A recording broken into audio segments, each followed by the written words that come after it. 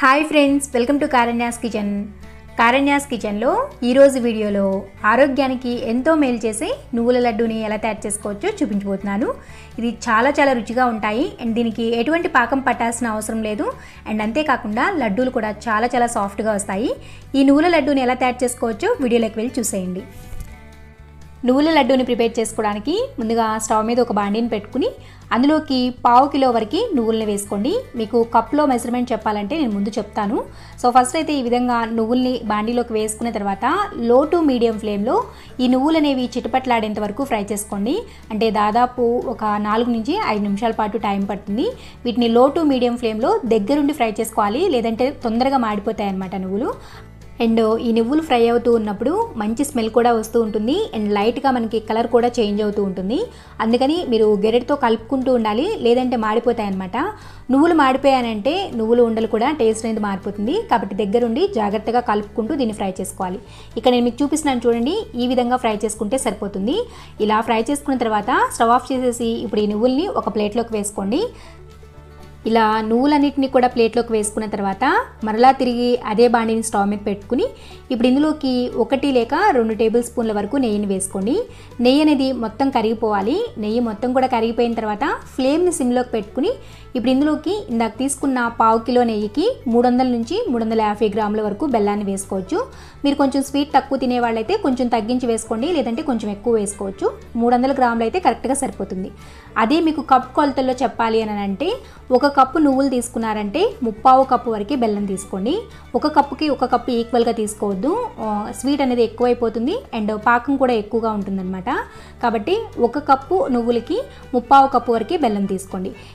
And ఇక్కడ మీరు తీసుకునే బెల్లాన్ని ఒకసారి చాకుతో తురుముకుని వేసుకోండి. లేదంటే బెల్లం అనేది కరగదనమాట మనకి బెల్లం అంతా కూడా కరిగిపోయేంత వరకు ఇలా గెరటితో కలుపుకుంటూ ఉడికించుకోవాలి. అండ్లో ఫ్లేమ్లోనే పెట్టుకోండి. ఫ్లేమ్ని మాత్రం పెంచుకోవద్దు. లో ఫ్లేమ్లోనే ఈ బెల్లం అంతా కూడా కరిగిపోయేంత వరకు ఉడికించుకోవాలి. అండ్ ఇక్కడ ఎటువంటి పాకం రావాల్సిన అవసరం లేదు. జస్ట్ మనకి బెల్లం అనేది కరిగితే చాలు. ఇలా గరిటతో కలుపుకుంటూ ఉడికించుకోండి. ఒకవేళ మీకు బెల్లం అనేది కొంచెం గట్టిగా ఉంది అని అనిపిస్తే ఒకటి లేక రెండు టేబుల్ స్పూన్ల నీళ్ళని పోసుకుని ఉడికించుకోండి. ఎక్కువగా మాత్రం పోసుకోవద్దు. అండ్ ఇక్కడ ఆల్మోస్ట్ బెల్లం అనేది మొత్తం కూడా కరిగిపోయింది. మధ్య మధ్యలో అక్కడక్కడ ఉండలనే ఉన్నాయన్నమాట.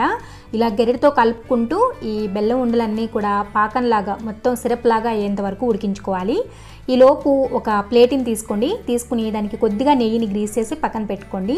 దీనికి వెంటనే ప్రాసెస్ చేసుకోవాలి కాబట్టి కొద్దిగా నెయ్యిని గ్రీస్ చేసేసి పక్కన పెట్టేసుకోండి. తర్వాత ఇలా గెరెటితో కలుపుకుంటూ ఈ బెల్లం ఉండలన్నీ కూడా కరిగిపోయి పాకంలాగా వచ్చేంత వరకు అంటే సిరప్ లాగా వచ్చేంత వరకు ఉడికించుకోండి. అంటే పాకం అంటే ఇక్కడ ఎటువంటి పాకం రావాల్సిన అవసరం లేదు. జస్ట్ మనకి బెల్లం కరిగితే చాలు. ఈ విధంగా బెల్లం చూసారా? ఇక్కడ ఆల్మోస్ట్ బెల్లం అంతా కూడా కరిగిపోయింది. ఇలా. ఇలా మొత్తం కూడా కరిగిపోయిన తర్వాత ఇప్పుడు ఇందులోకి ఒక టీ స్పూన్ అంతా యాలకుల పొడిని వేసుకోండి. ఒకవేళ మీ దగ్గర యాలకుల పొడి లేకపోతే రెండు యాలకుల్ని లైట్గా క్రష్ చేసి అయినా సరే వేసుకోవచ్చు. యాలకుల పొడి వేసుకున్న తర్వాత ఇప్పుడంతా కూడా ఈ పాకంలో చక్కగా కలిసేటట్లు కలుపుకోండి. కలుపుకున్న తర్వాత ఫ్లేమ్ని సిమ్లోనే ఉంచుకుని ఇప్పుడు ఇందులోకి ముందుగా ఫ్రై చేసి పెట్టుకున్న నువ్వులు ఉన్నాయి కదా ఆ నువ్వులన్నిటిని కూడా ఈ విధంగా వేసుకుంటూ గరిటతో కలుపుకుంటూ ఉడికించుకోండి. ఫ్లేమ్ని ఆఫ్ చేయొద్దు అప్పుడే. ఫస్ట్ ఈ సిమ్లో పెట్టుకుని ఈ ప్రాసెస్ని చేసుకోండి. ఇలా నువ్వులన్నీ కూడా ఇందులోకి వేసుకున్న తర్వాత ఈ నువ్వులన్నీ కూడా పాకానికి చక్కగా పట్టేటట్లు కలుపుకోండి. అండ్ ఇక్కడ మీరు తీసుకునే బెల్లాన్ని కొంచెం మెత్తగా జిగురుగా ఉండే బెల్లాన్ని తీసుకోండి. అప్పుడు ఏంటంటే తొందరగా బెల్లం అనేది కరిగిపోతుంది. అదే గట్టిగా ఉన్న బెల్లం తీసుకున్నారంటే కరగడానికి చాలా ఎక్కువ టైం పడుతుంది. అండ్ కొన్నిసార్లు కరగకపోవచ్చు కూడా. అందుకని మెత్తగా ఉండే బెల్లాన్ని తీసుకోండి. ఇలా ఈ నువ్వులన్నీ కూడా ఈ పాకంలో చక్కగా కలిసేట్లు కలుపుకోవాలి. ఇలా కలుపుకున్న తర్వాత ఇప్పుడు స్టవ్ ఆఫ్ చేసి దీన్ని వెంటనే మనం ఆల్రెడీ నెయ్యి రాసి పెట్టుకున్న ప్లేట్ ఉంది కదా ఆ ప్లేట్లోకి వేసుకోండి. ఇక్కడ నేను తీసుకున్న బాండీ అనేది కొంచెం వెయిట్ ఎక్కువగా ఉండడం వల్ల ఇలా గెరిటతో ప్లేట్లోకి వేస్తున్నాను. మీరు డైరెక్ట్గా ప్లేట్లోకి వేసేసుకోవచ్చు.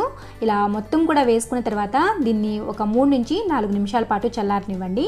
ఇది కొద్దిగా చల్లారిన తర్వాత అంటే మనం చేతికి పట్టుకోగలిగే అంత వేడున్నప్పుడు ఇప్పుడు ఈ విధంగా లడ్డూలాగా చుట్టుకోవడమే.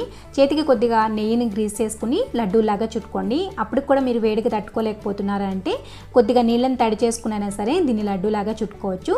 మీకు ఒకవేళ ఇలా లడ్డు లడ్డు చుట్టినప్పుడు లడ్డు అనేది ఈ విధంగా లడ్డూలాగా రాకోకుండా లడ్డు చుట్టిన తర్వాత కాసేపటికి అది విరిగిపోతుంది అని అనిపిస్తే సో ఒక చిన్న టిప్ చెప్తాను.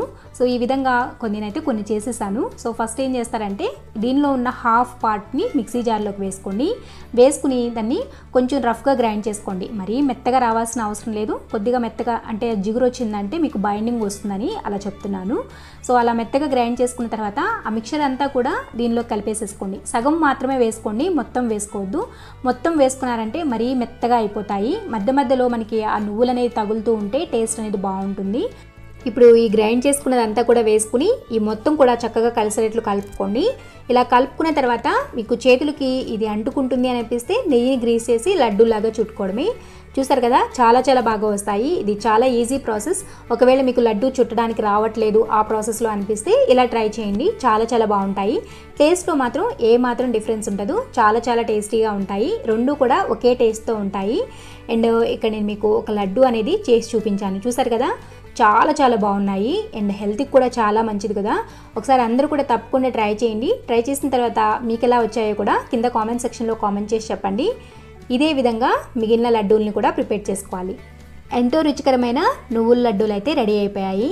ఇక నేను మీకు ఒకటి ఓపెన్ చేసి కూడా చూపిస్తాను. అండ్ మీకు పాకం పట్టాల్సిన అవసరం లేదు. చాలా సాఫ్ట్గా వస్తాయి ఈ లడ్డూలు అయితే. ఒకసారి తప్పకుండా ట్రై చేయండి. మీకు ఈ వీడియో కానీ నచ్చినట్లయితే వీడియోని లైక్ చేయండి. ఈ వీడియోని మీ ఫ్రెండ్స్కి రిలేటివ్స్కి షేర్ చేయండి. మరిన్ని ఎమ్మీ అండ్ టేస్టీ రెసిపీస్ కోసం కారణ్యాస్ కిచెన్ని సబ్స్క్రైబ్ చేసుకోండి. అండ్ పక్కనే ఉన్న గంట సింబల్ని కూడా నొక్కండి. Thanks for watching.